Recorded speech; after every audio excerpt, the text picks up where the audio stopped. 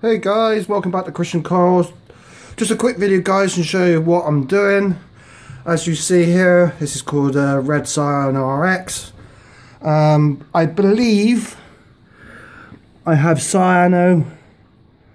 Um, little patches there. It's, it looks like diatoms to be honest.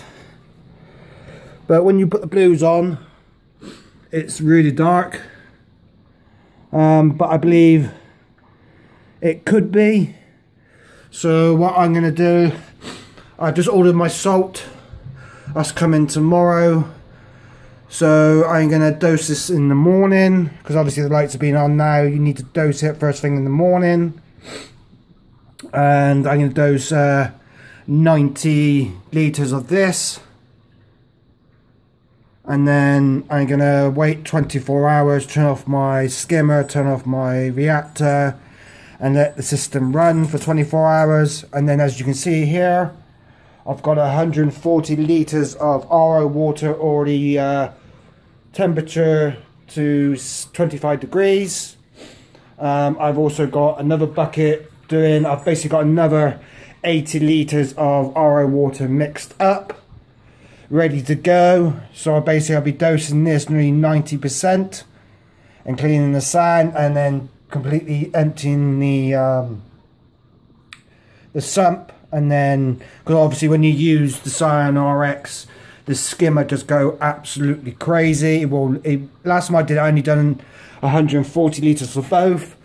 Excuse me. And it took about three hours for the skimmer to, to break back in so what I'll do now, I'll turn back on blues and I'll show you what I mean. It does look like it's cyano, but from the whites it looks like it's, it's diatoms. So I'll just quickly put the orange filter on. just pause the filter, pause the uh, camera. See now guys, when the blue lights are on, see this, all this like dark blue. It doesn't look great. See, with the blues on it, it looks like it's Dino. Um, it's Cyano. Uh, all on the back of the uh, rear box is dark blue. Uh, and the back of the tank is like a dark blue.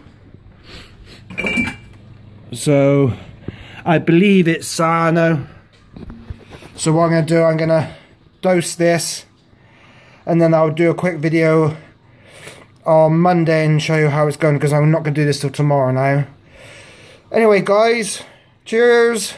Bye.